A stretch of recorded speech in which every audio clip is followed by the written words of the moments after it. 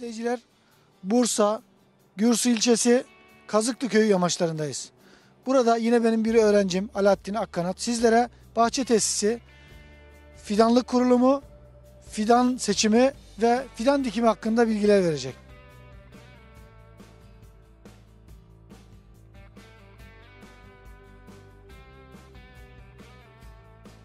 İnsanlara doğru bir fidan seçimi nasıl olmalı, dikimi nasıl olmalı, bahçe tesisi nasıl olmalı?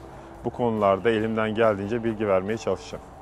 Elimde bulunan bir elma fidanı, dallı bir elma fidanı.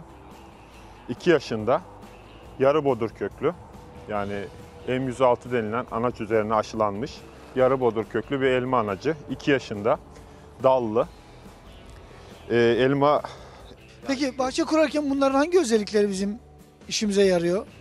Şimdi bahçe kurarken iki yaşlı fidanın tercih sebebi eee, daha erken. Yani bir yaşlı kamçı fidan dediğimizden iki yaşlı fidan eee, fidanlık arazisinde dallandırılmış olan fidandır.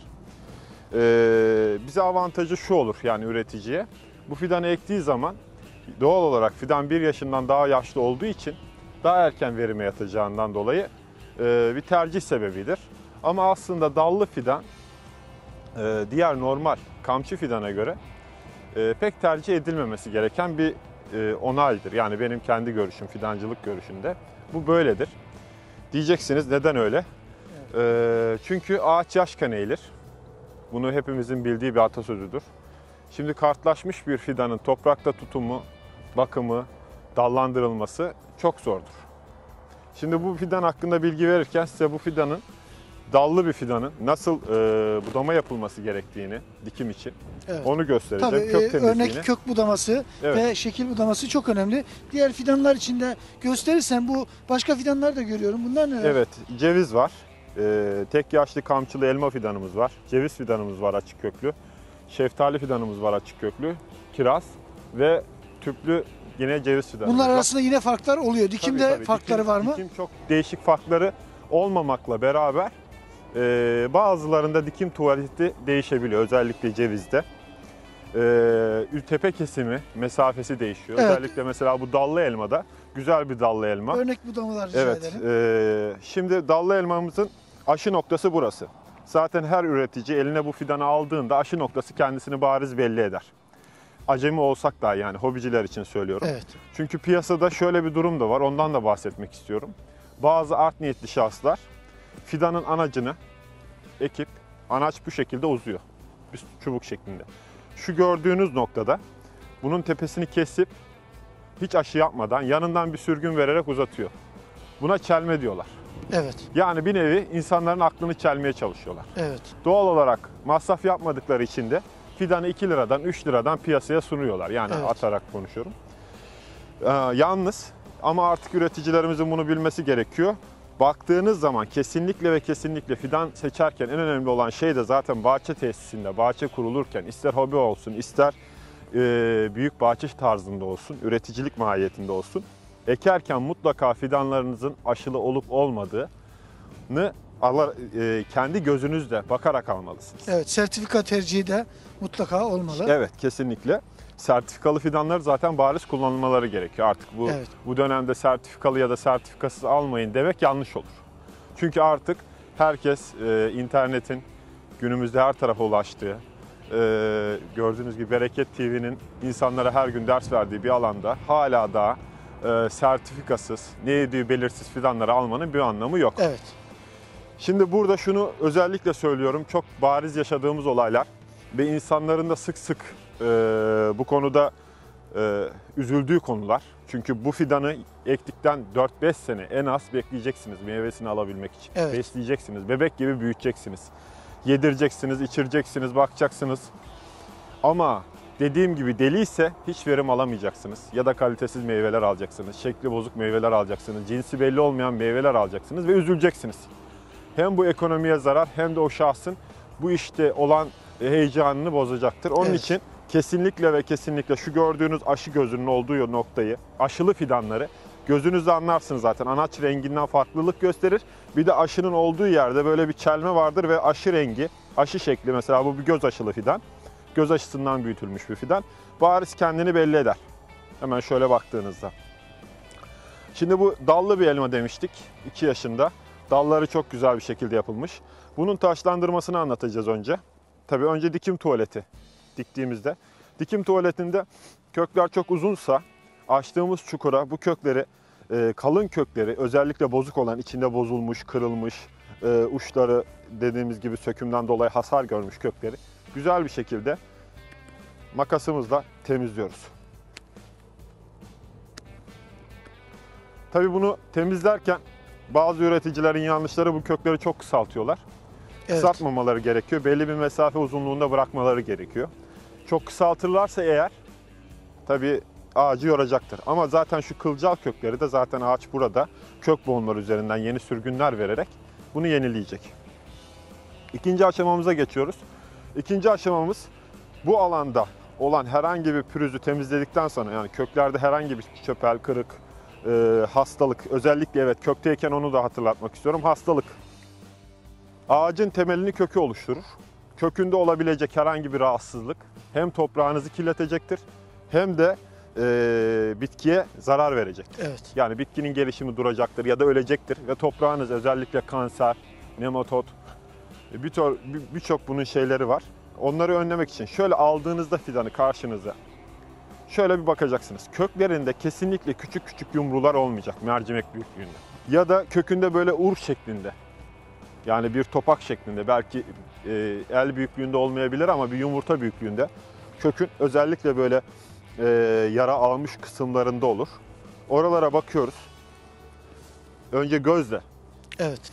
Eğer varsa bu fidanımız kanserlidir. Öyle bir yumurta büyüklüğünde Evet. veyahut da daha küçük bir yumru varsa e, bunu kanserli olduğundan şüphelendiğimiz için bir bilene bunu danışmamız lazım. Kesinlikle ve kesinlikle etmememiz lazım eğer şüphe ediyorsak. Zaten sertifika olayı işte burada ortaya çıkıyor. İkinci aşamada kökler temiz. Fidanımızı ektik. Toprağa ektik. Toprağa ektikten sonra biz bu elma fidanını özellikle elmada e, bakıyoruz dallı olduğu için. Şimdi belli bir çapa kadar yani yaklaşık 40-50 santime kadar biz bunu 65 santimden dallandırmamız lazım. 60 santime kadar olan kısımda ki sürgünlerin yani yaklaşık 40 santime kadar olan sürgünleri Bunların, bunların dikim sırasında mı yoksa dikimden sonra mı yapılması dikimden, gerekiyor? e, dikimden sonra da e, olabilir. evet. Dikimden önce de temizliği yapılabilir. Dallı fidanlarda diktikten sonra yapmak daha kolay olur. Şimdi bu toprakta vaziyetinde. Şimdi bunun 40 santime kadar, aşıdan 40 santime kadar olan kısmını temizledik. Hiç sürgün Evet. bırakmadık. Yaklaşık biz bunu 70-75 santimden gözünü kesiyoruz. Buradan çıkan sürgün lider olarak uzayacak. Şuradaki dallar da bizim yan dallarımız oluşturacak. Evet. Şimdi burada farklı yönlere bakan en az 3, en fazla 4 daldan yani şu anda 4 dalımız farklı elma yönlere için mi bakan. geçerli? Evet, elmada. Ee, şeftalide, goblede e, en az 3 veyahut da 4 veriyoruz. Şimdi bunu dikildi. Tepe kesimi evet yine yan şekilde Evet. e, su birikintisini önleyip üstte çürüme yapmaması için aldık. Şimdi buradaki sürgünler çok uzun. Kökünü de yeni ektiğimiz için doğal olarak buradaki sürgünleri bu elma besleyemeyecek. Beslemek için çok fazla güç harcayacak. Bu sefer köklenmesi yavaşlayacak. Çünkü aldığı bütün suyu yukarıya aktaracak. Onun için ağacın kuvvetli dağ sürmesi için bu gözleri olabildiğince kısaltmaya gideceğiz. İster eee, bu şekilde bir kesimle buradan yeni taze sürgün alarak yani dik bir kesim. Evet. Yani bir çendik bırakıyoruz Evet, gövdeden. çentik ama çentik makas eee, fidana paralel bir şekilde yani dik bir Evet. şekilde gelecek. Paralel demeyelim de dik Teğet. bir şekilde. Evet, Evet. teğet. Bir kesim yaparak üç farklı yönde buraların eee, gizli göz olduğu için elmada altından sürüp yeni sürgünler alacak. Mesela bunu da sıfır kesim yaparak özellikle elmada yumuşak çekirdeklilerde kesinlikle çentik bırakmadan sıfır bir kesim yaparak alıyor. İki tür çentik var. Bir tanesi sorunlu kesimden kaynaklanan, bir tanesi de sonradan meyve sürgünü Evet, ya da e, sürgün, sürgün evet, elde sürgün için e, yaptığımız elde bir etmek için yaptığımız Evet, sürgün. bu şu anda dallı bir fidanda ister böyle bir kesim yapabiliriz, isterseniz e, dallı fidanın belli bir atıyorum bir 10 santim 15 santimlik bir mesafeden aşağıya bakan gözün üzerinden keserek de bir kesim yapabiliriz. Evet. Ama en ideali temin bahsettiğimiz olaydan dolayı yani dallı fidanı ekip onu büyütmek yerine ya şimdi saksılı fit, saksılı üretimler var. Saksılı üretimlerde topraklı olarak ekildiği için köklerde herhangi bir dağılma olmadığı için Evet. aynı vaziyette çalıştığı için e, dallı bir vaziyette ekilip dallı budama yapılabilir. Ama e, toprağa ekimde tercih edeceğimiz nokta şudur. Yani şu kesim de yapılıp dallandırılarak ekimi yapılır. İdeal dikime hazır bir elma Dikim, fidanı. dikime hazır bir elma fidanı. Tabii şuradaki Bu ufak yarı bodur dedin. Tam Evet. bodurlarda da budama bu şekilde mi? Veya klasiklerde? Aynen. Aynen. Değişen bir şey Herhangi yok. bir Evet. değişim yok. Ee, tabii üretim şekilleri değişebiliyor. Bazen e, tepe kesimi yapılmadan direkt telli yeni bir sistem Bodur'da uygulanıyor. Bodur elmada. Yalnız o şu anda Türkiye çok fazla yayılmadı. Ee, var ama çok yaygın bir şey değil. Evet. Biz bu şekilde gösterdik. Ee, bir de bunu şunu izah etmek istiyorum. Yeri gelmişken.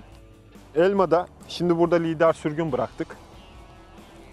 Yanına bir tane de yedek sürgün bırakacağız. Çünkü bu sürerken eğer yanındaki de herhangi bir problem olursa yanındaki sürgünü ona Evet yedek olarak. yedek olarak bırakıp daha sonra buradaki gözleri ister elimizle kırıp isterseniz sürgün başladığı zaman e, yukarıdakini altındaki iki veya üç sürgünü kopararak buralardan yandal elde etme imkanımız var. Eğer sürgünde 15-20 santimi geçtikten sonra burada iki sürgün sürdü. Hemen bir tanesini koparıp tek sürgüne bırakarak Evet. dallandırmayı gerçekleştiriyoruz. Ee, bir de şunu da hatırlatmak istiyorum. Ee, dallar sürmeye başladığında muhakkak ki muhakkak ki ağaç yaşken eğilir vaziyeti yine burada ortaya çıkıyor. Ee, dal açımını küçük bir kibrit çöpüyle ya da bir kürdanla bunları daha küçücükken sürgünler eğer açarsak çok fayda görürüz. İleride e, atıyorum bağlama aparatlarımıza hiç gerek bile kalmayabilir. Bunu da şimdiden söylemekte fayda var.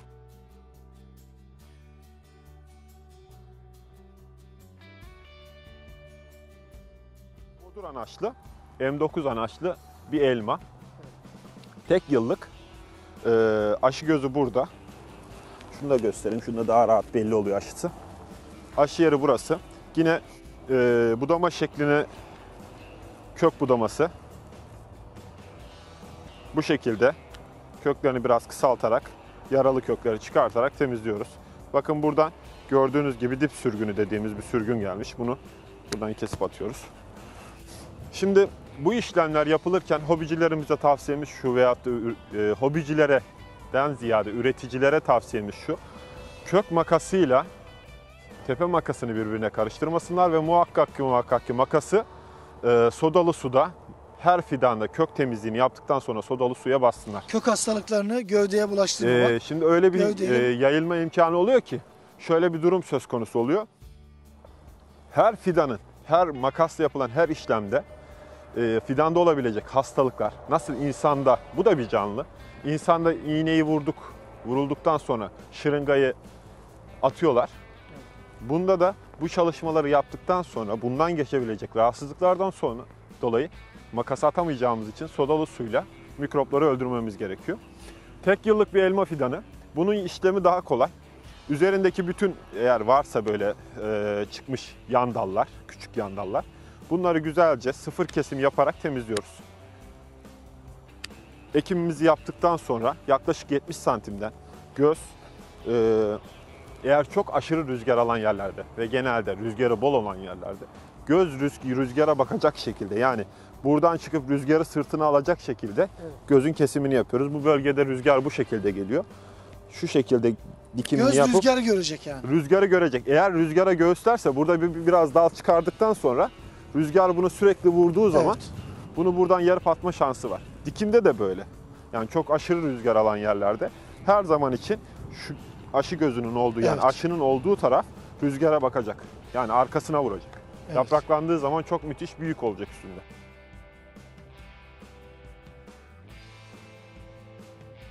Her zaman da bahsettiğimiz gibi ceviz çok farklı bir ağaç.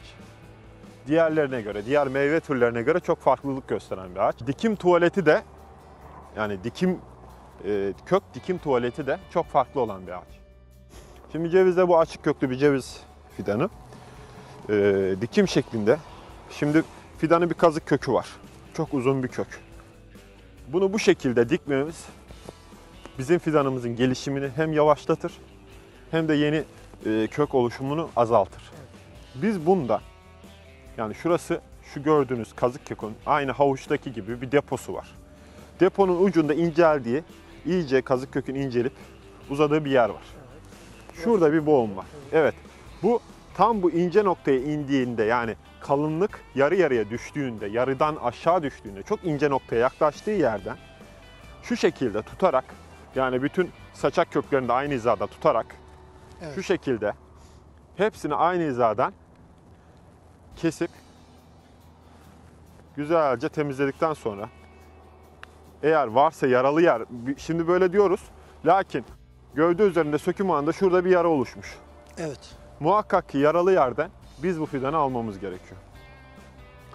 Bunu da bu şekilde açıkladıktan sonra üst kısmında zaten Yan, herhangi bir yan köklerde herhalde herhangi bir budama yapmıyoruz. yan köklerde e, hafif bir kısaltmanın çok faydası olabilir ama aşırı derecede de kısaltmanın bir mahiyeti Evet. yok. Çünkü yeni sürgünler yeni yan kökler oluşturacaktır ağaç. Bu sadece besleme amaçlı. E, yeri gelmişken şundan da bahsetmekte fayda var. Özellikle ceviz, erik, badem, şeftali. Bunlar suyunu çok çabuk kab- kabu- şey, Evet. kaybederler. Yani nakliye sırasında, fidan nakliye sırasında kesinlikle ve kesinlikle gezilmiş olan fidanlardan almalarını talep etmiyoruz. Çünkü çok fire verirler. Fidanı e, olabildiğince fidanlıklardan hızlı bir şekilde nakledip bir an önce toprağa, hendekleme çukurları dediğimiz çukurlara nakledilmesi gerekiyor. Eğer biz bu cevizi alır bir hafta arabada gezdirirsek tutmaz. Su kaybedecek. Biz bu fidanı alır, rüzgarlı havada sabahtan tarlanın başına korda akşam üzeri dikersek tutmaz.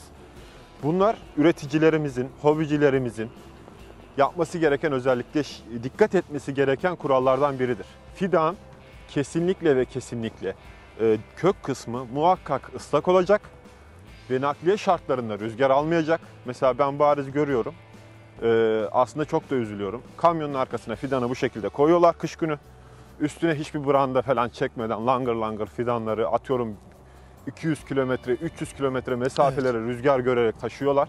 Ve bu fidanın tutmasını bekliyorlar. Hem milli servetimiz açısından bir kayıp hem de fidanlarımız açısından çok büyük kayıp. Çünkü büyük emeklerle yetiştiriliyor ve büyük emeklerle sevk ediliyor. Ve tarlada da onu eken şahıs, üretici e, büyük beklentilerle o fidanın tutmasını bekliyor. Tutmadığı zaman da üzülüyor. Hem fidancı hata yapmış sayılıyor hem üretici hata öncesi hatalardan kaynaklanan en büyük hatalardan neticelerle birisi karşılaşıyor. Evet. e, fidanı aynı bir canlıyı nasıl bir insanı tabii insandan ziyade başka canlılar mesela bir hayvanı böyle bir soğukta nakliyesini yaparken üstüne çadır çekiyorsak Evet. muhakkak bunun da üstüne çadır çekerek donlardan koruyarak nakletmemiz lazım. Evet. Cevizi de böyle anlattıktan sonra tabii cevizin bir de şusu var. Ee, bu sürgünümüz biraz kısa bir sürgün cevizimiz. Ee, cevizde tepe kesimi yine Ekim'den e, şimdi yeni çeşitlere göre. Eğer böyle kısa Pedro sürgün, zannediyorum çeşit. evet çeşit Pedro. e, Pedro. Böyle bir cevizde elimizdeki fidanın aşı yeri burası. Kalkma aşı yapılmış. Ee, aşı yerinden yaklaşık 50-60 santim uzunluğunda bir fidan. Şimdi üreticilerimize doğal olarak ceviz fidanı diğer fidanlara göre çok ağır gelişen bir fidan. Evet. Ee, böyle bir fidan geldi. Bunun boyluları da var. 1,5-2 metre olanları da var. Tabii 2 yıllık, tek yıllık olarak değişiyor. Böyle bir fidan geldi. Elimizde 50 santimlik. Bunda yapacağımız en önemli budama şekli şu. Aşı yerinden 25 santimden fidanı e, yine tekrar lider göz bırakacak şekilde yani üstte bir göz bırakacak şekilde çapraz bir kesim yapıyoruz. Ekiyoruz. Diyecek ki adam yani e, üretici bunu neden bu kadar kısalttık? Tutmasını sağlamak ve üstü beslemesini sağlamak. Üstü beslerken de ağacın dengesini düzgün bir şekilde yani e, ağaç fizyolojisi dediğimiz ağacın dengesi olan fizyolojiyi, ağaç dengesini koruyabilmek için e, bunu oluşturuyoruz. Şimdi kesimi yaptık. Şurada bir e, aşıdan kaynaklanan yamukluk var. Bunu gelecek sene biraz daha buradan alıp e, düzgün bir sü- sürgün Evet. alacağız. Ektik bunu. Yani yapa- ileriki yıllarda şekil budamasıyla Tabii şekil budaması güzel- zaten bununla tek sürgün uzattıracağız. Evet. Pedro, Chetner bu türlerde tek sürgün uzatarak eee, bir tek Lider sürgün. vital Evet. Evet. Kesinlikle bunda temin bahsettiğimiz diğer fidanlarda bahsettiğimiz gibi dallandırma yok. Çünkü bu 25 santim. Burada yapacağımız işlem şu. Buradan tek bir sürgünü yukarı doğru uzatacağız. Evet. Geri kalan sürgünleri hep koparacağız. alttan çıkanlar, zaten dibinden çıkanlar, aşının altından çıkanlar e, ağacın öz evlatları. Diğeri üvey evladı. Onun için alttan çıkan hiçbir şey kesinlikle sürekli bahçede gezip Evet. onları alıyoruz.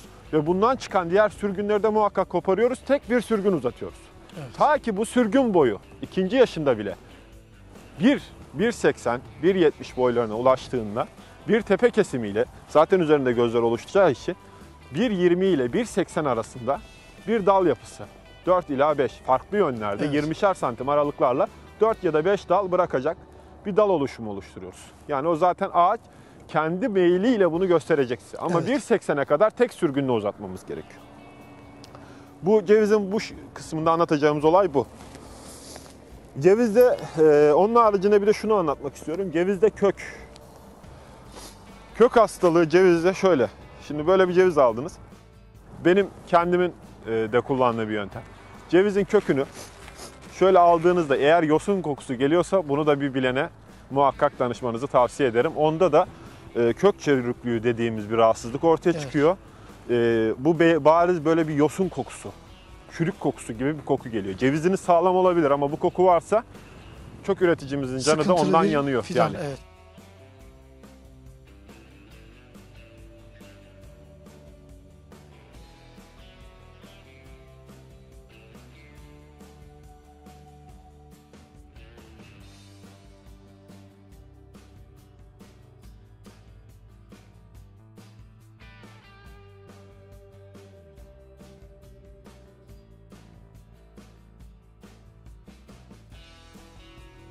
Şeftali, şeftali sert çekirdekli bir ağaç.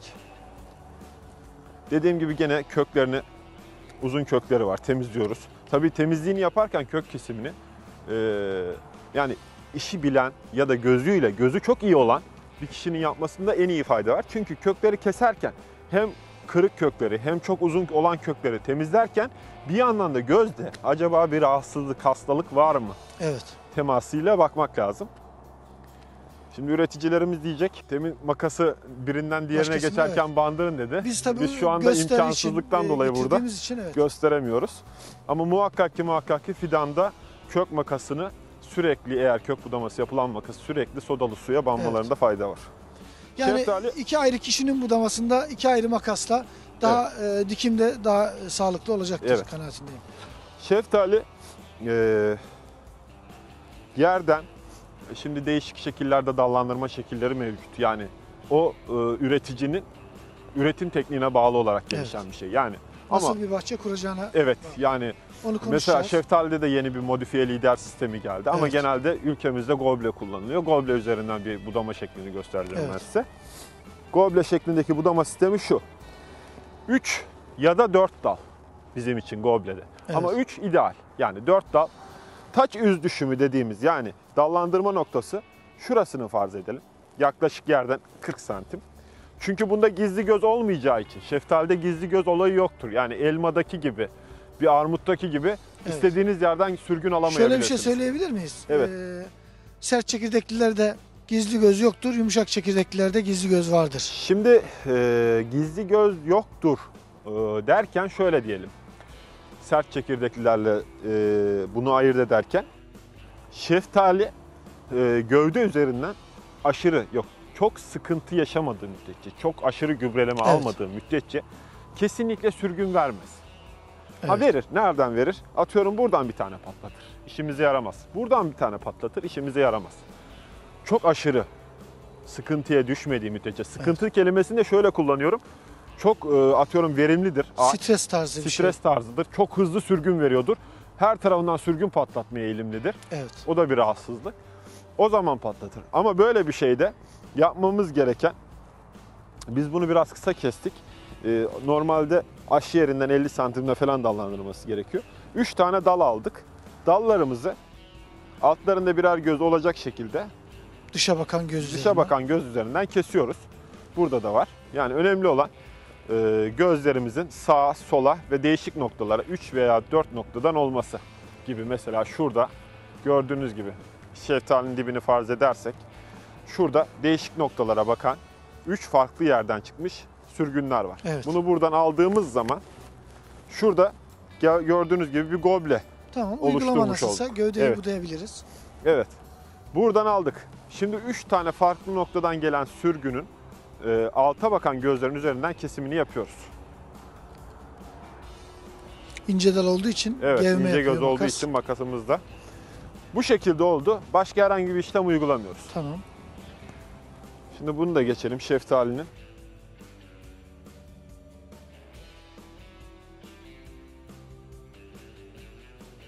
Kirazda da aynı şekilde yaralı bereli Evet. dibinde problem olanları kesiyoruz. Şu şekilde kısaltıyoruz. Yukarı bakan alıyoruz, temizliyoruz. Şu anda yukarı doğru olan sürgünlerimizi temizliyoruz. Ve 90 santimden dışa bakan gözden. Kiraz 90 santimde. Evet, 90 santim. Klasiklerden mi bu şekilde? Bodurlarda nasıl? Ee, genelinde 90 santim. 90 85, santim, 90. Ee, mesela e, cevizde ondan bahsetmek istiyordum. Özellikle şimdi çok büyük yoğun ceviz ekimleri olduğu için ceviz Evet. makinesiyle hasat etmek için 120 santim mesafesinde hiç dal bırakmıyorlar. Ama normalde 120, 80 ile 120 arasında dal bırakılabilir ama e, büyük bahçelerde bu şekilde bir uygulama Evet. oluyor. Kiraz 90 santimden. Zaten kirazın da çok dikkat edilmesi gereken nokta eğer gözlerini düşürürsek Evet. maalesef kirazdan da bir şey alamayız. Nakliyesi çok önemli. Gözlere dikkat. Gözlere dikkat.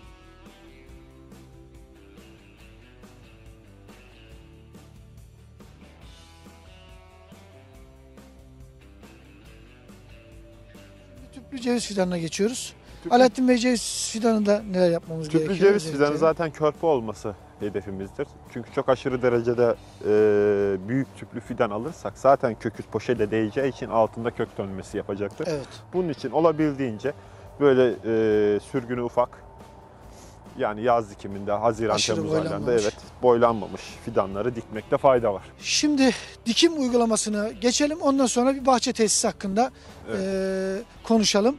Eee, dikim uygulamasında ne yapmamız gerekiyor? Şimdi tüplü fidan genelde bütün fidanların ortak yönü e, dikimde yapılması gereken en önemli şey dikim çukurlarının açılıp Evet. e, mümkünse kürekle, mümkünse e, abartısı olarak böyle burgu, küçük burgu tarzı şeylerle değil de büyük burgularla açılmış Evet. çukurlara e, dikmekte fayda var. Toprağın e, hasta olduğu dönemler deriz biz. Yani e, yaşken, çok yaşken çukur açmakta pek fayda yok. Çünkü etrafını dövebiliriz. Yani Evet. genelde tavlı zamanlarda çukurumuzu açıp çukurumuza fidanımızı yerleştirelim. Onun haricinde şunu ayrıca söylemek istiyorum. Kesinlikle ve kesinlikle insanlara yanlış söylenilen bilgiler var. İnsanlara şunu diyorlar, e, herkes kafadan bir ses uyduruyor. Bizim ziraat alanımız yani fidancılık alanımız veyahut da bütün şeylerde olduğu gibi e, diyor ki işte fidanın dibine şunu atalım, fidanın dibine bunu atalım, Evet. fidanın dibine şunu getirip koyalım, fidanın dibine üstüne şunu dökelim. Fidanı bir bebek nazariyetinde nasıl beşiğe bebeği yatırıyorsak toprağa yatırıp Evet. toprağını kapattıktan sonra e, güzel bir can suyu verip iyi bir çiğneyip can suyu verdikten sonra hiçbir işlem yapmanın bir lüzumatı yok. Evet. Sağdaki tutanısıya kadar tuttuktan sonra artık zaten yeni sürgünler vereceği için gübrelememizi, beslememizi ondan sonra yapacağız. Yani Normal fidan üzerinde dönecek, herhangi bir çalışma yapılmasın. Çiftlik gübresi olayı. Çiftlik gübresi karıştırılıp da toprağa çiftlik gübresi harmanı yapılıyor. Evet doğru bir olay. Ee, toprak zayıf olabilir. Bitki beslemesi olamıyor. Ama 21. yüzyıldayız. Evet. Artık pek e, çiftlik gübresinin kullanılması bence yani benim görüşümdür. Hocalarımız daha iyi bilir. Ben kendi görüşüm açısından söylüyorum. Kendi Kullanmak tecrüben aslında. kendi tecrübem. Çünkü çiftlik gübresi adı üzerinde bir gübre. E, bu da bir bebek. Bebeği mikrobun içine koymanın bir anlamı yok. Yeterince fermente olmadığı için Evet, sıkıntılar bir mikrobun içerine. Yani şimdi şöyle bir şey var. E, bütün faydalı olan mikroorganizmaların olduğu gibi faydasız olan birçok mikrobun barındığı bir ortam. Tamam. Ve bunların da yeni kök oluşturacağı için o, o kökü mikrobun içine sokmanın bence bir faydası olmayacak. Çukur kazıldı. Kazılan çukura e, poşeti güzel bir bıçakla, keskin bıçakla poşetini açıp dağıtmadan oturtturup etrafını toprağa doldurup güzel bir çiğnedikten sonra can suyu vermek. Bu kadar basit. Şeftali içinde durum nasıl? E, genelde fidanların hepsinde aynı özellik. Aşı noktasını gömmeden aşı noktasına 2-3 parmak diyelim. Tabii bu parmaklar değişiyor. Yani yaklaşık bir 200 santim aşı noktasını gömmeyelim. Aşı noktasını gömersek eğer orası su alacağından apse yapar. Orası bir yaradır. Evet. Orada bir e, ileride aşıdan kaynak yani ileride fidanımıza zarar verir. Boyunda gelişiminde durmalar olur, zayıflar. Bu gibi rahatsızlıklarla karşılaşmamak için aşıyı gömmedikten sonra yapılacak diğer iş- işlemler rutin şeyler. Peki ceviz için soruyorum. Yani e, şöyle bilinen bir e, bilgi var. İşte kepçeyle yerini aşelim sonbahardan. E, hayvan gübresiyle dolduralım. Tekrar çukuru kapatıp e, dikim zamanı tekrar yeni bir ufak bir dikim çukuruyla e, dikimimizi gerçekleştirelim. Bu nasıl? Şimdi bu bahsettiğimiz olay ıslah olayı. Bunu rutine vurmadan mesela bulunduğumuz toprak yapısı taşlık bir toprak. Evet, Şimdi bunun taban taşı dediğimiz bir taş vardır. evet, Sürekli tarla 30 santimden sürülürse onun altı Evet. taban taşı olur. Kepçe olayı çok güzel bir şey. Yani toprağı havalandırıyorsunuz. Evet. Lakin çok aşırı masraf. Büyük bir bahçede kuran bir insan için bu çok aşırı abartılı Evet. rakamlar. Ama atıyorum 10 tane e, fidan ekecektir. Durumu da buna müsaittir. Yapabilir. uygun diyorsunuz. E, toprağı ıslah etmek için elinden geleni yapabilir. Evet. Tecrübe dediğim gibi kişi ve şahıslara kalmış olan bir şey. İstediğinizi de yapıp deneyebilirsiniz ama rutin denemeler dışında bence yapılması gereken bitkiyi nasıl beslerim, Evet. nasıl olan doğru olan şeyi yaparım. En önemlisi bu. Yanlışlar yüzünden birçok meyve bahçesi kuran vatandaşımız, e, üreticimiz Evet, e, bu işi bırakıyor, bahçeyi terk ediyor evet. ve atıyorum bin tane, iki bin tane, beş bin tane fidan dikmiş insanlar o bahçeyi terk edip gidiyor. O ağaçları ölüme bırakıyor. Neden? Tamam. Yanlış yatırımlar.